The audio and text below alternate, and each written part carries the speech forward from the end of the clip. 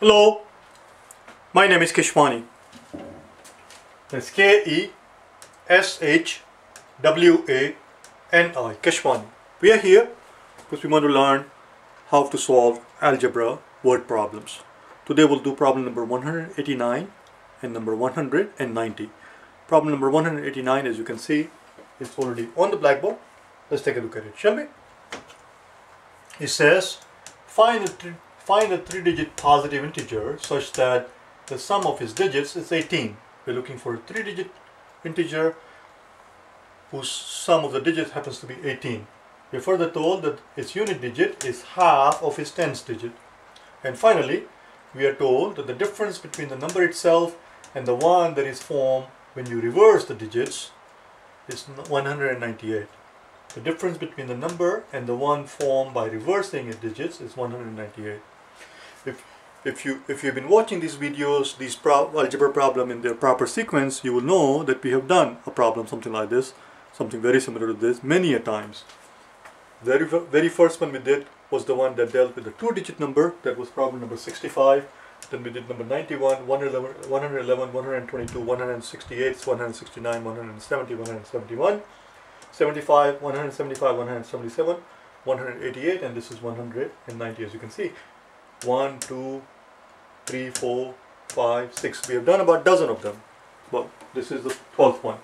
If you have watched these videos in the proper sequence, you know how to set it up, you know how to solve it. If you want to give it a shot yourself, I'll give you 5 seconds for you, for you to be able to pause and unpause the video. Do it yourself and then compare your work against the work that we'll do together in a few seconds time. Okay? Here we go.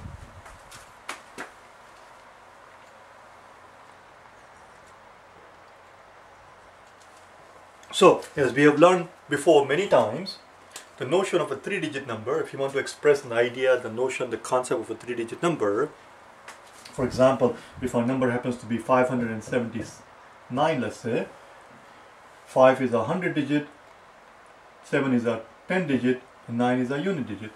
We cannot express a three-digit notion, the concept of a three-digit number by these three variables written as HTU. HTU, as we know in the language of algebra, means the product of the three digits. That's not what we mean. How do we represent the notion, the idea, the concept of a three-digit number, which happens to be 579, if we were to use letter H to represent the 100 digit, T for the 10 digit, U for the unit digit. What does 579 tell us? 579 tells us how many hundreds we have. We have 500, which is why it's called 500 probably. It tells us how many tens we have. We have seven tens. And it tells us how many units we have. We have nine ones. But the problem is, these three quantities are unknown. We do not know how many hundreds we have because it's an unknown number. We're going to have to find it. We do not know how many hundreds we have, so we use letter H for it. We do not know how many tens we have. We do not know that we have seven of them. It's an unknown quantity. We do not know how many units we have. We use we just use letter U. And the expression that we arrive at is we have h number of 100, so it's h times 100.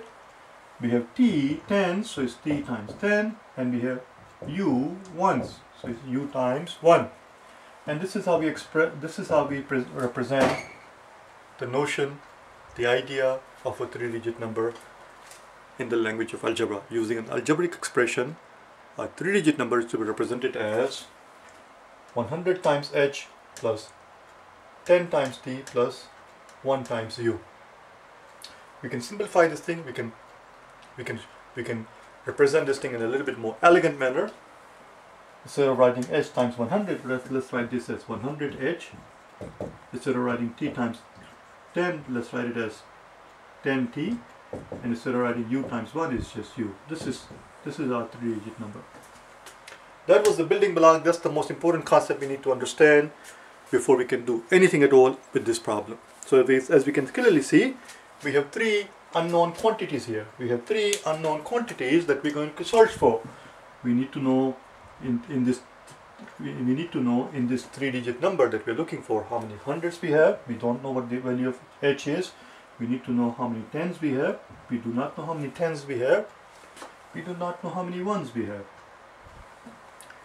h, t and u are the three unknown quantities that we are seeking, that we are looking for. And therefore, we will have to have three independent equations. For us to be able to solve for three unknowns, we need to have three independent equations. The question is, what are those three equations going to come from? They're going to come from the problem. Let's see where they are, shall we? Well, the first equation is right here. The sum of the digits, the sum of the digits is 18. Well, that's a very straightforward and simple equation. So our digits are, our digits are, we're using letter H to represent 100 digit, we're representing, we're using letter T to represent the 10 digit, we're using letter U to represent the unit digits. The sum of the digits we are told is 18. That's very straightforward, very simple. That's our first equation. That's our first equation. Where's the second equation? The second equation is right here. The unit digit, unit digit, we are told, the unit digit we are told, the unit digit which we are using letter U to represent, is, is means equal, half of, half of means time, of means times, 10 digit. So there you go, that's our second equation. Unit digit is equal to half of the 10 digit. So again, if you like, we can write this in a little bit better form. Instead of writing u equals half of t, if you were to bring the two, let's, let's write, let's not write this in a fancy way. Unit digit is whatever the 10 digit is, it, it is half of that. Unit digit is half of 10 digit. Or if you like, 10 digit is 2 times unit digit. If you were to multiply both sides by 2, the 2 is going away and it tells us that 10 digit is 2 times unit digit. 10 digit is 2 times unit digit. Where's the third equation? Third equation is going to come from here. This is the original number. It says the difference between a number and the one that is formed by reversing the digits is 198. So let's first write the original number. The original number is right here. 100 times h plus 10 times t plus u. This number and the one that you form by reversing the digits for example here 579 579 you reverse the digits whatever is in the unit digit becomes 100 digit whatever is in a 100 digit becomes a unit digit and 7 just stays 7 that's what we mean by reversing the digits. So whatever however many hundreds we had that's however many unit digit we're going to have. However many unit digit we had that's however many hundreds we're going to have. 100 times u and t is just going to remain t this something went wrong. Something went wrong. We have H100 instead of H100 we can have U100. U100. Middle digit stays the same 10 times T and unit digit became the 100 digit, 100 digit become, become unit digit.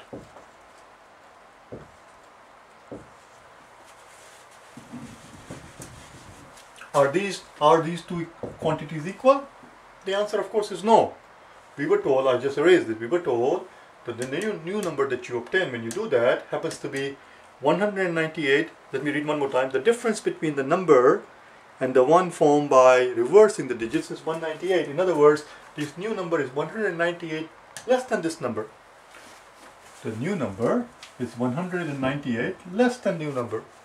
How can we justify putting an equal sign here? Well, by simply adding 198 to this side. Whatever this quantity is, if you were to add 198 to it, now this quantity is equal to that quantity. Let's work on it. Let's work on this equation and simplify it.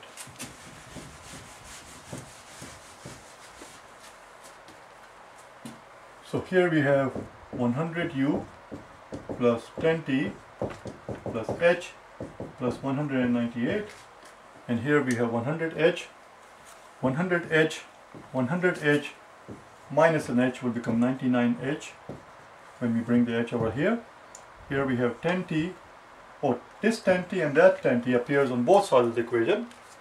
It appears on both sides of the equation so it's just going to cancel out. And then here we have here we have how can I indicate it? Let's do it with the arrow. Here we have 1u and here we have 100u so if you were to bring the 100u on this side, u minus 100u will become 99u. 99u. And that has to equal to 198. 198, I hope you're able to see right away, is simply 2 times 99. Because 2 times 100 is 200. Instead of 100, we have 99. So it's 2 less than 200. 2 times 100 is not 100. 2 times 100 is 200. Minus 2 would be 198. This is 99, this is 99, this is 2 times 99. Let's divide the entire equation by 99. If we divide the entire equation by 99, we find that h minus u equals 2. That's our third equation. That's our third equation. That's it, we're done. All we have to do is now make the substitution. We need the room, so I'm going to erase this part.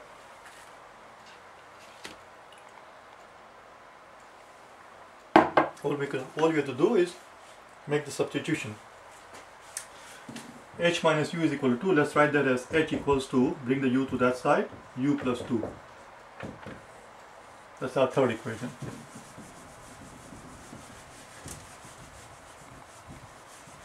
What was our second equation?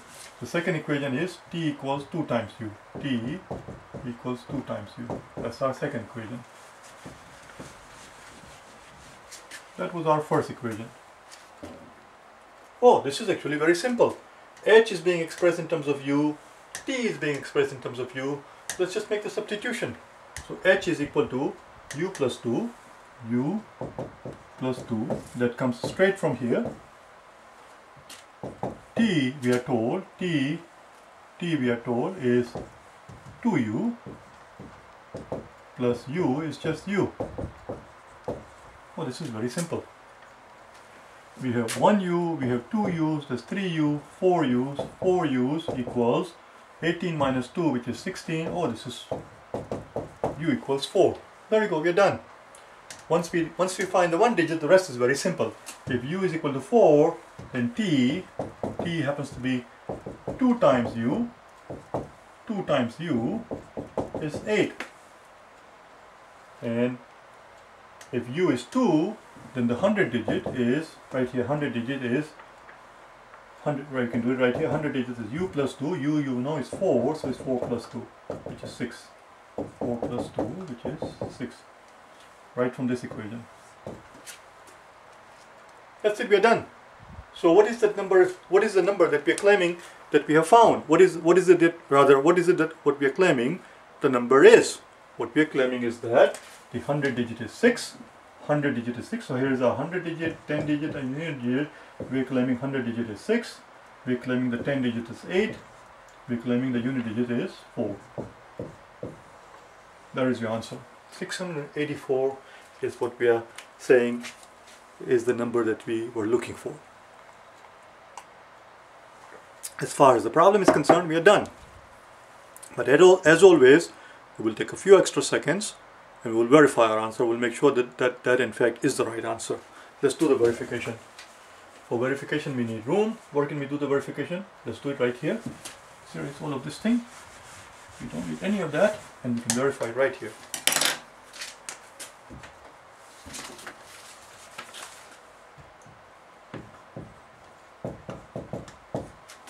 684 is what we're claiming. As you can clearly see, 6 plus 4, 6 plus 4 is 10, 10 plus 8 is 18, so it, is, it passes the first criterion, criterion, not criteria, not the first criteria. Criterion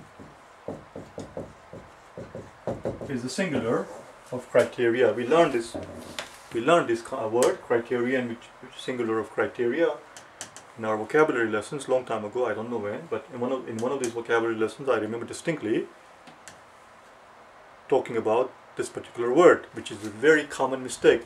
Many a times I have heard people go around saying the only criteria that we used but if it's the only one if it's the only bloody one is the criterion not criteria. So the first criterion is satisfied. It, we meet the first criterion which is the sum of the digit has to be 18 which it does. 6 plus 4 is 10 plus 8 is 18 that's that's true we were told further that the unit digit is half of the 10 digit. You can clearly see unit digit is half of the 10 digit. Unit digit is 4 10 digit is 8 so it meets the second criterion. The third criterion that we were told is that the difference between the original number and the one that you form after reversing after you reverse the digit 100 digit becomes a unit digit and the unit digit becomes a 100 digit. If you do that, then we were told the number that we obtain is 198 less than the original number. Let's see what we get here. 14 minus 6 is going to be 8 and this will become 7 and this borrow, borrow 1 from here 17 minus 8 is 17 minus 8 is 9 5 minus 4 is 1 oh there you go. It meets it meets all three criteria which means our answer is indeed correct. I was about I was about to put everything away. I thought we were done with it but we're going to do one more problem number 190 okay? Just give me a second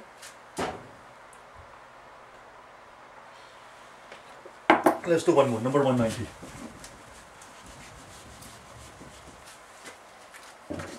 it says find three. Number 190 find three.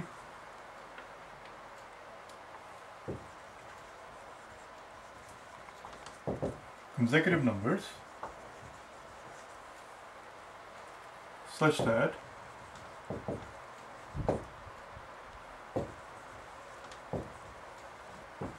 are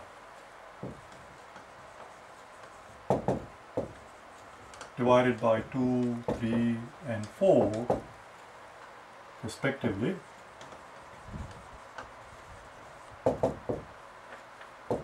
The sum of the the sum of the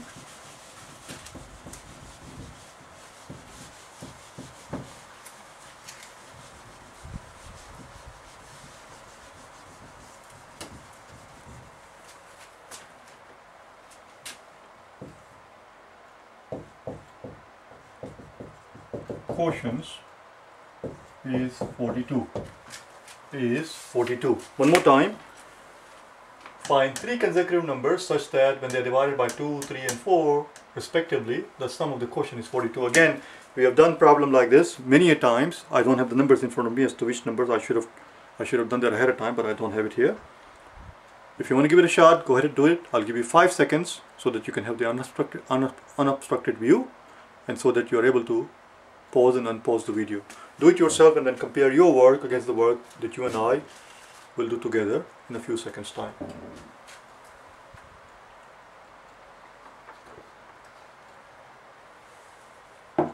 Okay, here we go. First thing first, we need to first get the terminology out of the way, but first we need to understand the jargon. Quotient. What is the quotient? Quotient is simply a very fancy way of saying the result of a multiplication process, uh, result of a division process. Division process. For example, if you have if you have 14, if you have 14, and if you divide 14 by 2, 14 divided by 2 is 7, and that is called the quotient. That is called the quotient. Quotient is the result of the division process. What we are looking for are three quotients, three quotients such that we divide such that we are dividing three consecutive numbers. So the three consecutive numbers, the first one, if you're going to represent the first number as x, since they're consecutive, next one would have to be x plus 1. And the one after that would have to be x plus 2. And we are told that if these numbers are divided by 2, 3 and 4 respectively, in that order, 2, 3 and 4, take the first one divided by 2, take the second one divided by 3, take the third number, three, third consecutive, third number in the three consecutive number, divided by 4, if you were to do that, we are told that the sum of these coefficients would have to equal 42. There is the equation. All we have to do is simplify, or rather not simplify rather, all we have to do is solve this simple, all we have to do is solve this very simple linear equations and we'll have our number. That's all. Let's do it, shall we? Well, very first thing we're going to do here is to make sure that we have the same denominator. We need the common denominator. Here we have a denominator of 2, here we have a denominator of 3, here we have 4. Of course, they are all different. If we can have the same common denominator, if we can have the same denominator, or if we can have the common denominator, then we don't have to worry about looking at the denominator. The denominator will cease to play any role as long as the entire equation has the same denominator. So let's make it. Let's make it so. Let's make it so. Let's give each of these terms the same denominator. Well, this one has a denominator, the first term here, has a denominator of 2 what's going to be the least common denominator here? Well, we, all we need is a common denominator. All we need is a common denominator, but it's always a good idea to make sure that that common denominator that you arrive at is in fact the least one. Because the lower the number, the less work you will have to do. Hence, hence one looks for not just any old common denominator, but the least common denominator. For example, here, 2 times 3 is 6, 6 times 4 is 24. 24 will do job, job nicely. 24 will do job nicely. And so will 24 billion. 24 billion would do job nicely as well, and so will 24 trillion. But it'll be damn silly thing to do. We want the least common denominator, the lowest possible number that we can think of that is evenly divisible by 2, 3, and 4 is 12. We already have 2 here. How can I convert a 2 into a 12? Well, it's very simple. Take this first quantity and multiply top and bottom by 6. There you go. 6 over 6 is 1, so we haven't changed anything. Here we have a denominator of 3. We want a 12, so take this quantity and multiply the top and bottom by 4. This one has a denominator of 4. We want 12. Take the quantity and multiply top and bottom by 3. Now, every, every term on the left hand side has a denominator of 12. We need to have the same denominator on the right hand side. So take your 42 and multiply it by 12 over 12. Now everything has the same denominator. Since the entire equation has the same denominator, the denominator of 12 here plays no role. It ceases to play a role, it ceases to have any significance. We can ignore the bloody thing. So let's begin. 6 times x is 6x plus 4 times x would be 4x 4 times 1 would be 4 this is an x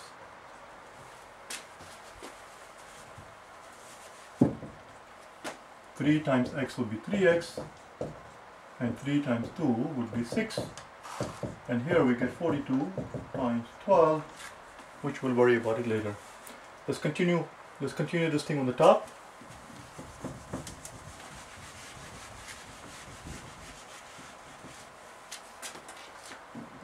6 plus 6 plus 4 is 10, 10 plus 3 is 13. So we get 13x plus we have a 4 and we have a 6.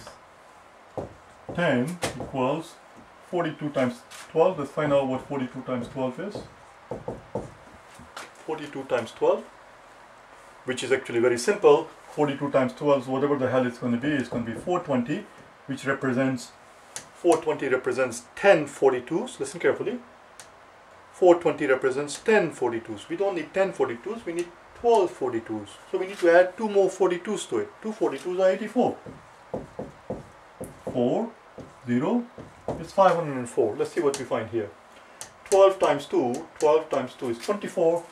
4, carry 2. 12 4s are 48. 48 plus 2 is 50. You see? So it's 504.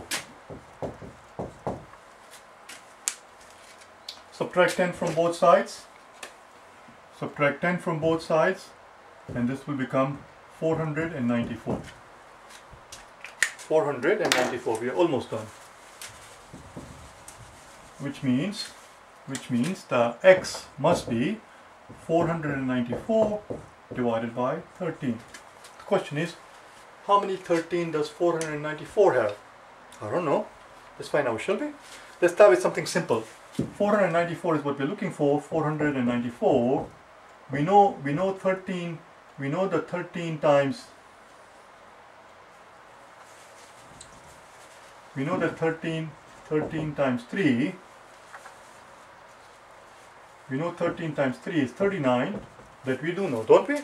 We know 13 times 3 is 39 we do know that the 13 times 3 13 times 3 is 39 if 13 times 3 is 39 then 13 times 30, 13 times 30 would have to be 390. Or we take away 390 from it so that we have something so that we have something smaller to work with. We end up with 4, 0, or we end up with 104. Now the question is, how many 13 does 104 have? Don't look at me, what the hell are you looking How the hell do I know? What are you looking at me for? Let's find out, shall we? What we want to find out is how many 1304 has. Let's find out. We need the room so we can erase all of this thing.